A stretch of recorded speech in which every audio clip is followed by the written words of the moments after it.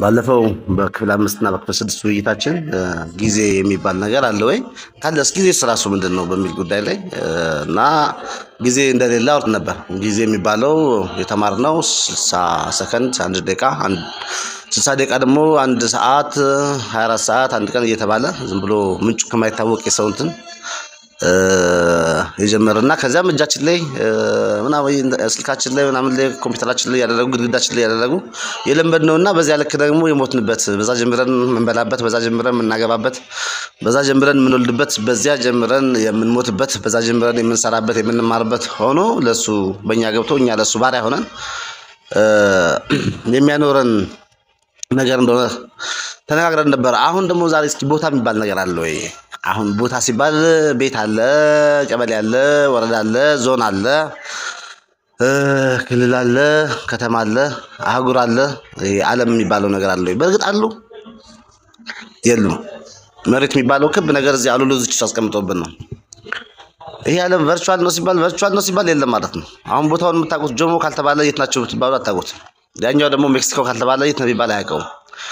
ሜክሲኮዊው ሜክሲኮ በሚል ከሰው ከጀመረ ስም ካልሰማ ወይ ካልተማረ የት ነው ብትሉት መሬት ላይ ነው የሚለው።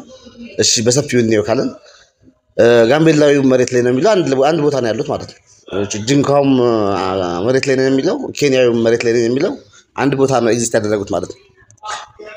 መሬቱ በራሱ በራሱ ማንነት የለም። ከገባብን ነገር ጀምረን ከገባብን እውቀት አንጻር ስም እየሰጠን ርቀት እያበጀን መለኪያውን እኛ አበጅተን በሜትር በኪሎ ሜትር በምናምን በምናምን በምናምን እያለን distance አበጅተን እዚህ ውስጥ ያለ distance ማለት ነው። ከዚህ ሜክሲኮ ያለው distance እዚህ ውስጥ ነው ያለው። እዚህ የአውስትራሊያ ያለ distance እዚህ ውስጥ ነው ያለው። እዚህ ካናዳ ያለ distance እዚህ ውስጥ ነው ያለው። ጉዞ virtual ነው። ከመሬት ወደ መሬት ከዚህ አሁን ካለንበት ህንድ ውቅያኖስ ብንለው አየሩን ብርሃኑን እና መሬትን ከህንድ ውቅያኖስ ወደ ህንድ ውቅያኖስ ወዴትም አይኬድም። ህንድ ውቅያኖስና ህንድ ውቅያኖስ ነው። እዛ ውስጥ ቦታ የሚባል የለም። ሁሉም አንድ ቦታ ነው ያለው። ስለዚህ እቹ መሬት ደግሞ የት ነው ያለች ብትሉት universe ይላችኋል። universe ማን ነገረ ብትሉት ሰው ነው። ይህ universe የት space ይላል። ይህን space ማን የነገረ ብትሉት ሰው ነው። ስለዚህ ከገባው እውቀት ውጭ ቦታው ያለ ስም የለም።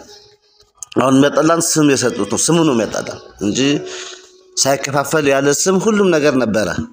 ስለዚህ ያለ ስም የነበረውን ማንነት ያለ ስም የነበረውን identity ስም ሰጥተን ከዚያ ስም ጀምረን እሱ የኔ ነው እንዳለን ማለት ነው። በሙሉ እየኖርን በጠባቡ እንጋጫለን፣ በጠባቡ እንበላላለን፣ በጠባቡ ይሄ የሚሆነውን ነገር እያየን ነው።